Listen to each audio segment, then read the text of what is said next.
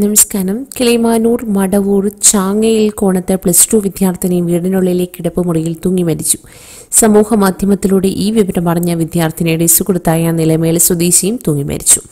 മടവൂർ പുലിയൂർ കോണം ചാങ്ങയിൽ കോണം കൃഷ്ണഭവനിൽ അക്ഷര എന്ന പതിനേഴ് വയസ്സുകാരിയെ നിലമേലിലെ ബസ് ഉടമ കൂടിയായ കരുന്തലക്കോട് കരിക്കകത്തിൽ വീട്ടിൽ ശ്രീജിത്ത് എന്ന ഇരുപത്തിമൂന്ന് വയസ്സുകാരനുമാണ് മരിച്ചത്. സംഭവത്തെക്കുറിച്ച് പോലീസ് പറയുന്നത് പോരോടം വിവേകാനന്ദ പബ്ലിക് സ്കൂളിലെ പ്ലസ് ടു കമ്പ്യൂട്ടർ സയൻസ് വിദ്യാർത്ഥിനിയായിരുന്നു അക്ഷര. അക്ഷര സ്ഥിരമായി യാത്ര ചെയ്യുന്ന ബസ്സിലെ ഡ്രൈവർ കൂടിയായിരുന്നു ശ്രീജിത്ത്. ഇവരുടെ സൗഹൃദം പ്രണയമായതോടെ വീട്ടുകാർ ഇടപെടുകയും യുവാവിനെ താക്കീത് ചെയ്യുകയും ഉണ്ടായി. അക്ഷരയുടെ അച്ഛൻ ശ്യാംദത്ത് കിളിമാനോട് മ്യൂസിക് സ്ഥാപനം നടത്തുകയാണ്. തിങ്കളാഴ്ച രാവിലെ ഏഴോടെ ശ്യാംദത്ത് സ്ഥാപനത്തിലേക്ക് പോയതിന് പിന്നാലെ അക്ഷര മുറിയിൽ കയറി വാതിലടച്ചു മുത്തശ്ശി വിളിച്ചിട്ടും വാതിൽ തുറക്കാതായതോടെ ആളുകളെ വിളിച്ചുകൂട്ടുകയായിരുന്നു. കഥക്ക് ചവിട്ടി തുറന്നാണ് കിടപ്പുമുറിയിലെ ഫാനിൽ തൂങ്ങി മരിച്ച നിലയിൽ അക്ഷരയെ കണ്ടെത്തിയത്.